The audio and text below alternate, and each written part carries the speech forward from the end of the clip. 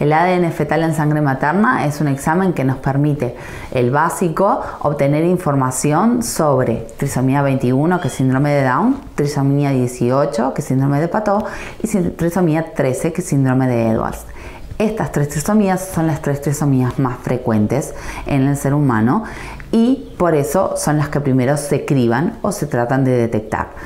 El ADN fetal en sangre materna lo que nos hace es darnos una, una estimación de riesgo, ¿sí? pero con mucha más sensibilidad o capacidad de detección que cuando lo hacemos con ecografía y factores maternos. La sensibilidad diagnóstica para, por ejemplo, para el síndrome de Down de un ADN fetal en sangre materna es de un 99%. ¿Qué es lo importante de saber?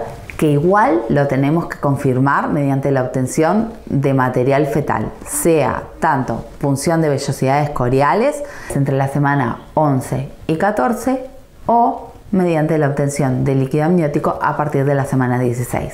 Esa es la forma que tenemos de confirmar el diagnóstico de estas trisomías u otro diagnóstico.